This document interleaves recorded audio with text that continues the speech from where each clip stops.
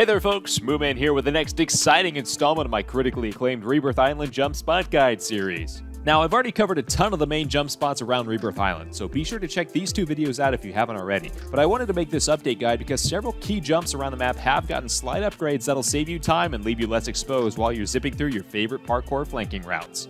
Let's get started and jump right into the video. Speaking of those new and improved jumps, we'll start with the updates to some pretty important spots around Granny's house, the inside of prison, and a few over by the harbor area. Now, what exactly do I mean by improved jump spots? If you didn't know, a few patches after the Vanguard integration, the developers made very slight changes to your max jump height or jump distance. And when I say slight, I mean like barely noticeable, like your crush complimenting your stylish Crocs. Enough to make you wonder if that was flirtatious or not, but not enough to make you act on it, because we all know how that last time worked out for you, and restraining orders are permanent. Now, because the jump height was buffed a little bit, you can now jump straight up into places that used to require more steps or more time to get to. Let's take Granny's for example. We all know the classic sidewall jump onto the ledge and into the window. This new jump mechanic lets you skip the first mantle onto the wall and instead allows you access straight onto the ledge, saving you time on your parkour route as a whole and time that you don't have your weapon up. This works on each of these outside ledges and can allow you access into a different window than what campers inside would expect. Just make sure you're aiming for the ledge corners, because I've had a hard time getting the jump to work if I aim for the center of the ledge. There's also this side jump into the triple window on the first floor that has been around forever. I've just never covered it because it's not all that useful, but boom, that's something you can do here at Granny's as well as the new simplified pull-up jump. Right next door over at HQ, in addition to the several jumps we covered in the last videos, there's a sneaky side jump you can perform to get from the second floor window to the platform outside with a ladder. If you're being chased, most attackers would expect you to jump out of the window into the courtyard down below, but if you position yourself in the window itself, you can instead strafe jump to the side of the building and circle back on anyone chasing you inside. While we're in the area, I'll throw in an extra little route you can take from the HQ roof to get into the second floor window of the lighthouse building. Super simple. You just get a running jump from the roof wall and Evel Knievel parachute across the gap right into the window, skipping anyone camping the stairs. You can do the same thing from Prison Roof by getting a running jump, cutting your parachute, and auto-mantling onto the second floor window from the opposite side. They better hide they kids, hide they wife, cause you coming in here whether they like it or not. Right across the street, we got a few new handy jumps in El Chapo's least favorite destination on the map, prison. With the new jump height buff, there are a whole bunch of new spots that don't look navigable, but are really useful new routes. For example, in the past, to get to the balcony area of the cell block, you'd have to either take one of the inconveniently placed staircases up, wasting a bunch of time running around, or climb up one of the boxes littered around, wasting a little less time but still wasting some regardless. Now, thanks to the magic of clean eating, your subscription to Men's Health, and performing a twice weekly satanic ritual allowing you to harness the grip strength of Flex Seal, you can literally just walk up to any exposed walkway in cell block and pull yourself right up. The most useful one of these is over by the cafeteria side, where you can save a decent chunk of time by not having to run up the stairs in a big U-turn. While you can't jump straight up onto the walkway here, you can climb onto the sidewall that is like 2 inches shorter than the walkway, because apparently 2 inches is a pretty big deal now, huh? Take that, Jennifer. At least the sidewall can appreciate a good 2 inches. Anyway, super easy route here and all around prison that not many people know about yet. Working our way down to the harbor area of the map now, we've got another huge updated jump spot that'll allow you access to the rooftop of the harbor building.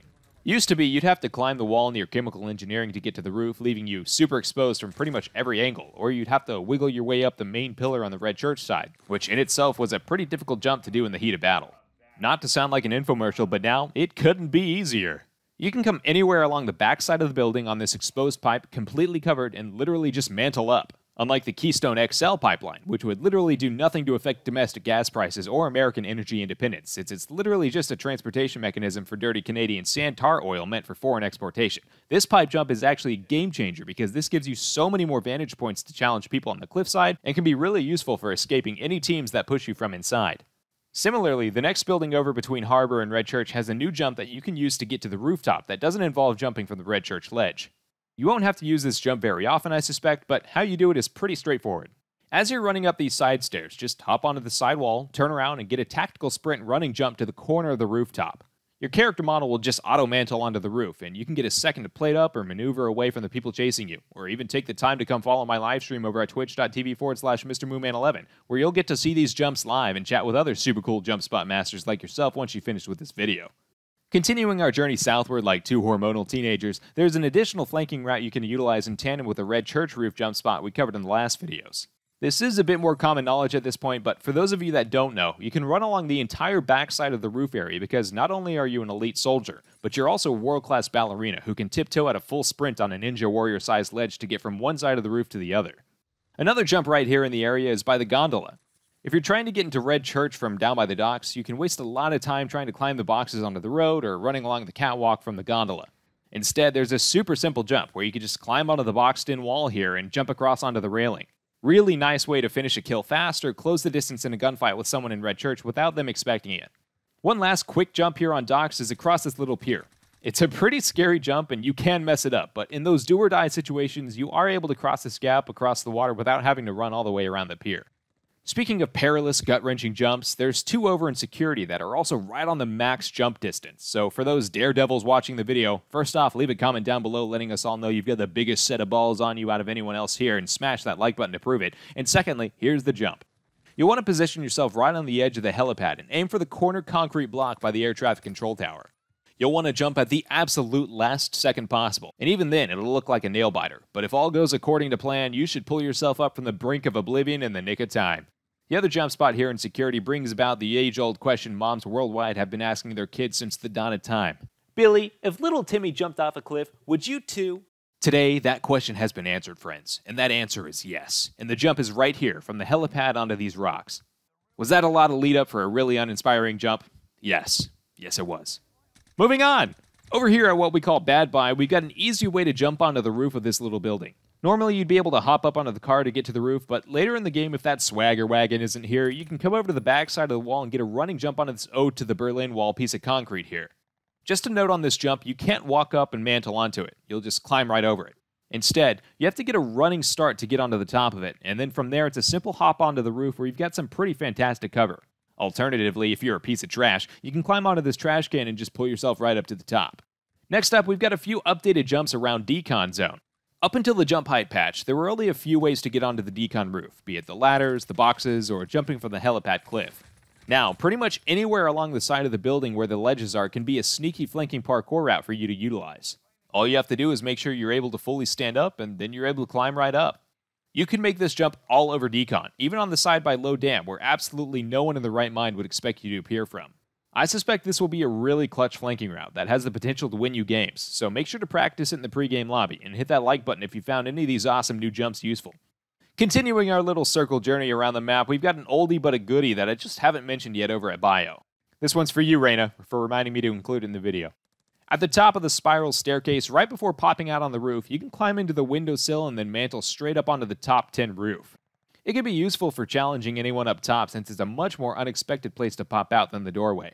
It's the same reason Santa uses the chimney and not the front door, so that he doesn't get completely blasted by a suburban family of four when their ring doorbell alerts them to a giant fat man trying to break in during the holidays. Anyway, our final stop is at Powerhouse, where I've got two new jumps for you to try out, but first, I want to give a little clarity on the rooftop jumps that I've covered in the previous two videos. First up, the jump onto the patio is now one step easier.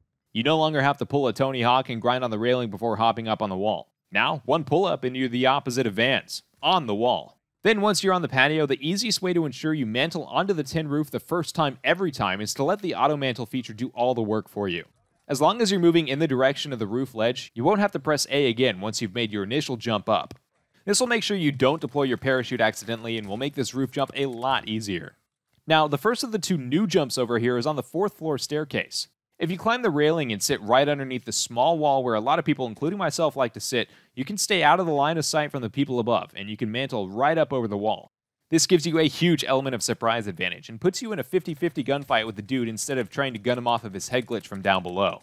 The other new jump over here is a bit more impactful and is out on the main road that gives you direct access up and over the most bigly, huge, wonderful border wall ever constructed.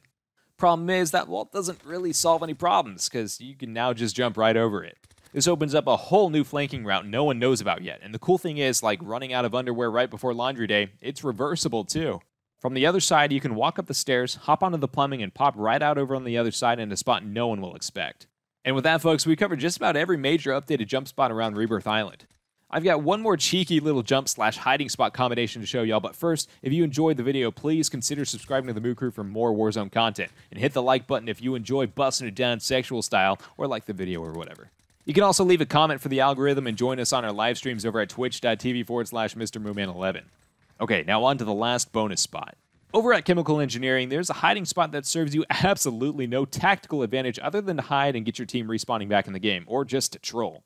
If you come over to the backside area, the little appendix room by the grapple, there's this electrical box looking extra thick.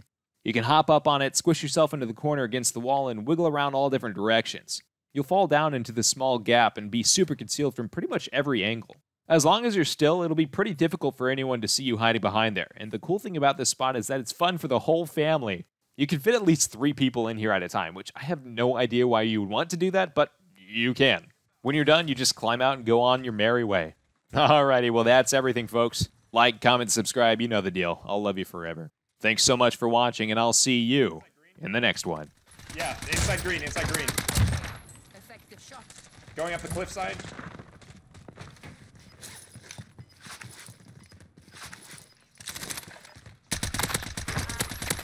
I'll take care of it.